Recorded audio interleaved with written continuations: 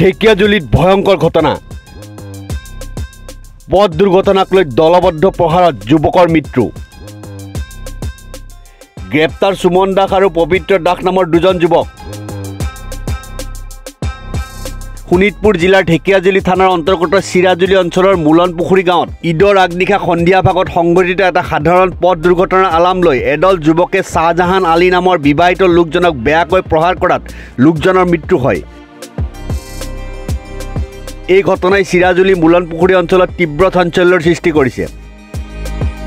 জানিব পৰা অনুসৰি চিৰাজুলিৰ মোলন পুখুৰী গাঁৱৰ শ্বাহজাহান আলী নামৰ লোকজন যোৱা দহ এপ্ৰিলৰ সন্ধিয়া ভাগত ঈদৰ বজাৰ কৰি চিৰাজুলিৰ পৰা মোলন পুখুৰীৰ নিজ গৃহলৈ মটৰ চাইকেলেৰে গৈ থকা অৱস্থাত ভুটীয়া আলিত এদল যুৱকৰ মুখামুখি হোৱাত তেওঁৰ মটৰ চাইকেলখনে এজন যুৱকৰ চাইকেলত খুন্দা মাৰে। এই সাধাৰণ পথ দুৰ্ঘটনাৰ আলাম লৈ যুৱকৰ দলটোৱে শ্বাহজাহান আলীক উপৰ্য পৰি প্ৰহাৰ কৰে।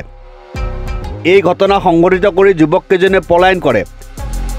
ইয়াৰ পিছতে স্থানীয় লোকসকল ওলাই আহি শ্বাহজাহান আলীক চিকিৎসালয়লৈ প্ৰেৰণ কৰে। শ্বাহজাহান আলীৰ অৱস্থা সংকটজনক হোৱাত পাছত তেওঁক গুৱাহাটী চিকিৎসা মহাবিদ্যালয় হস্পিটেললৈ স্থানান্তৰ কৰা হয়। কিন্তু শুকুৰবাৰে পুৱতি নিশা চিকিৎসাধীন অৱস্থাত শ্বাহজাহান আলীৰ মৃত্যু হয়। পুৱা এই খবৰ বিয়পি পৰাত অঞ্চলটোত চাঞ্চল্যৰ সৃষ্টি হয়। এই ঘটনাত জড়িত থকাৰ সন্দেহত ঢেকীয়াজুলি আৰক্ষীয়ে সুমন দাস আৰু পবিত্ৰ দাস নামৰ দুজন যুৱকক গ্ৰেপ্তাৰ কৰি হাজোতলৈ প্ৰেৰণ কৰে। ঢেকীয়াজুলি থানাত এই সন্দৰ্ভত এটা গোচৰ পঞ্জীয়ন কৰি আৰক্ষীয়ে আৰম্ভ কৰিছে তদন্ত।